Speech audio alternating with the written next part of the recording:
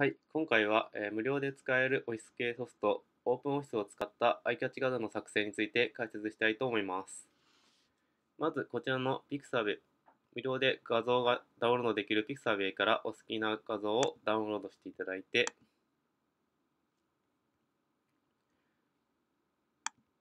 こちらの無料ダウンロードで、ダウンロードで、こちらに表示される画像のテキストを入力していただいてダウンロードすることができます。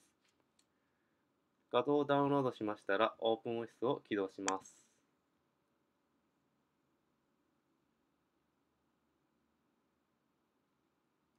こちらのプレゼンテーションを選んでください。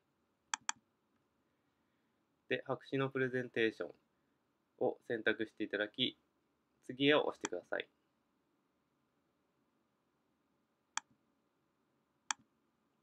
最後に作成をしてください。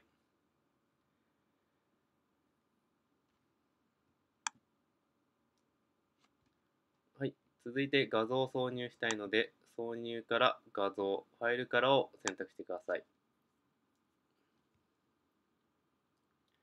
で、こちらの画像を選択していただいて、開くを押してください。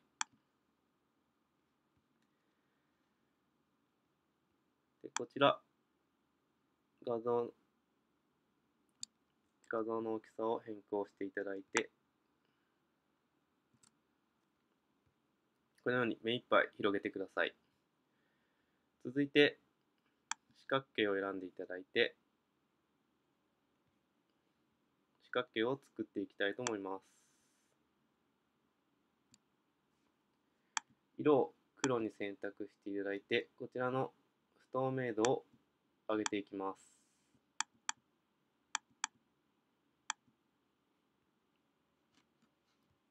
続いてテキストの入力です。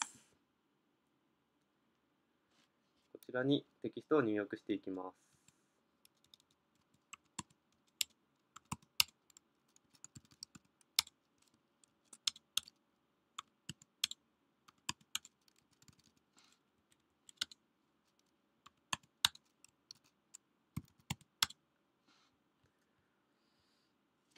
で、フォントサイズをこちらで変更していただいて、で、フォントの色を白に指定します。